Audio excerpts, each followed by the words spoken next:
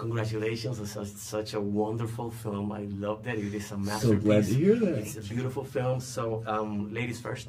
Okay. Let me start with you, Nina. Uh, you put the legacy and the lives of your parents in Bradley's hands. Yeah.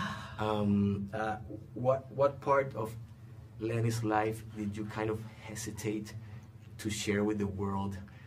Uh, that I, there was no hesitation. no, we trusted Bradley implicitly.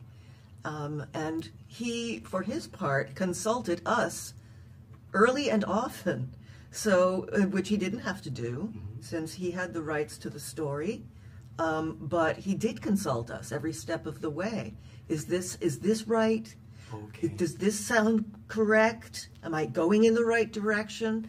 And and so we helped uh, shape the film with him, um, and uh, yeah, we trusted him totally. But was that like, like this kind of thing that where you said, you know what, uh, this is so so personal, so intimate, so close that I want to I want to keep it to myself. No, because then, because then what are we doing? Okay, okay, Right? excellent. What's the point of, of making a film if you're not going to go all the way there? excellent? Thank And you also. I think, excellent, um, excellent answer. There's there's also uh, nothing that we are uh, personally that I you know wouldn't even uh, want held back or anything like that. Excellent, thank you for that. Um, Jamie, there's this um, emotional, touching scene between Maya and Bradley, your character, um, about about the rumors, about the rumors. So, what was your reaction when you first read that scene in the script, and and uh, the accuracy of it, or when you watch it for the first time on the, on the screen? Well, it was very uh, disorienting to see somebody playing teenage me, of course. But also, um, that incident um, really happened, and I described it in my memoir, Famous Father Girl, which Bradley read, and that's uh, where he got that scene from. So he created it in, in a way that felt very accurate to me.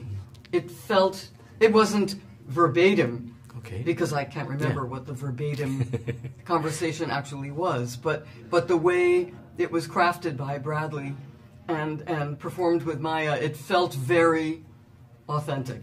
Thank you, thank you for that. So, Alex, uh, what have you learned about your parents during the whole process of this, uh, bringing their lives to the, to the big screen, that maybe you didn't know, or, or now you see, or pro- probably, perhaps you see it now as a, with a different perspective or a different lens? That's very interesting question. Um, I'm I, I'm reminded about a lot of things uh, that I may have forgotten, um, and that's always wonderful. Um, but I, I don't think there's anything I've actually learned. There was You- something that really came back to me, which is uh, the scene um, when uh, Bradley, as Bernstein, is conducting Mahler Second in Ely Cathedral, and then he and and the the piece is over, and he runs over to give Felicia a great big hug, and and then when he runs back to take another bow, you can see that Felicia's dress is covered in drops of sweat, and it totally came back to me about, about those sweaty hugs. Yeah. Yeah. That's, that's a great story. Authentic, very authentic. Yeah. True to life. really authentic. So, do you have the chance to, to visit the set?